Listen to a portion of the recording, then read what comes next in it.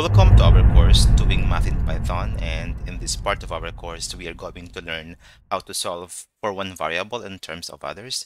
So basically what we're going to do here is that we're going to identify the root of a quadratic equation. So here in this case there is not actually much problem if we can just factor a certain quadratic equation so that we would be able to get the values of x that satisfies the equation.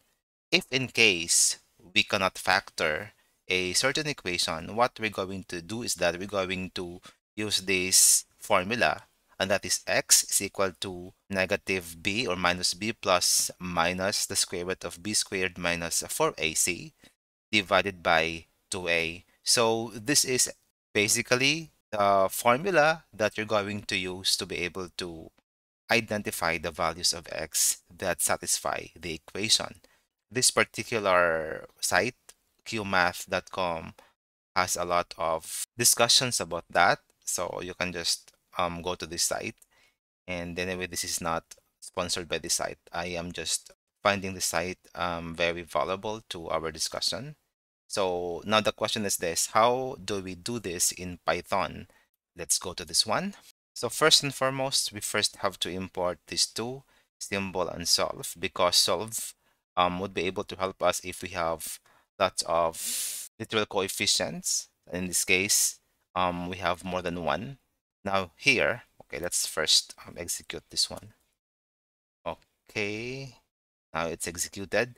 And now we are going to transform different letters to variables. So here we use symbol, so x, a, b, and c. So let's execute this one.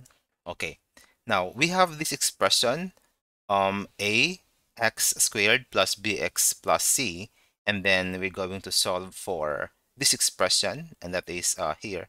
We have to find the value of x and then we have the dictionary. So let's execute this one and so we would know what this one is.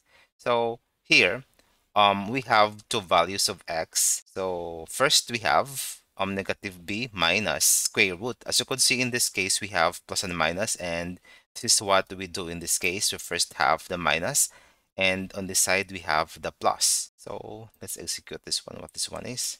So this is basically this one. So ax squared plus bx plus c.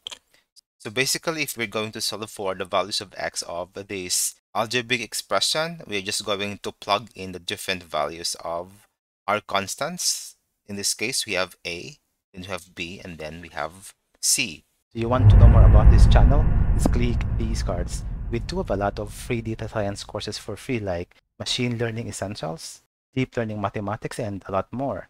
Here, you can always learn an upskill for free.